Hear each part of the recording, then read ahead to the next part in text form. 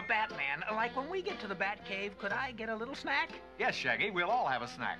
Bat milk and cookies for everyone. Bat milk?